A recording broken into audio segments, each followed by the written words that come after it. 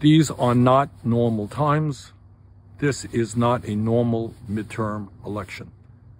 This is the most important midterm election in the modern history of our country because we are taking on a political party, the Republicans, who literally are trying to undermine American democracy. They are trying to make it impossible for women in this country to control their own bodies. And at a time when we face the existential threat of climate change, they could care less. They're working with the fossil fuel industry. And in addition to all of that, at a time of massive income and wealth inequality, when the richest people are becoming phenomenally richer and working people are falling further and further behind, you know what Republicans want to do?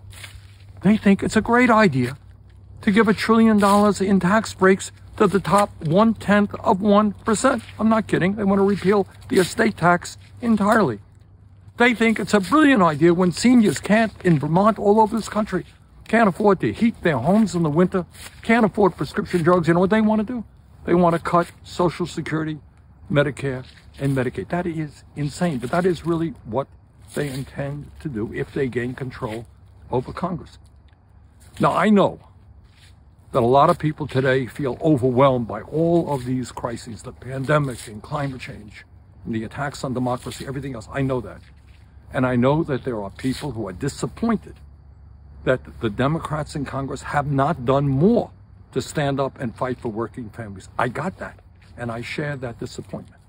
But let me just tell you, if we do not come out and vote in large numbers, and if Republicans gain control over the House and the Senate, what you're looking at is a turn in American politics far, far, far to the right, which will impact every aspect of our lives.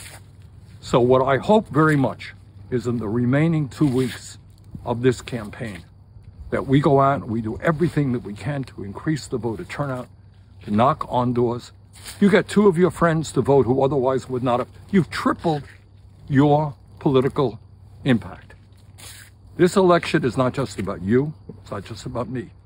It's about our kids and our grandchildren. And we cannot fail them.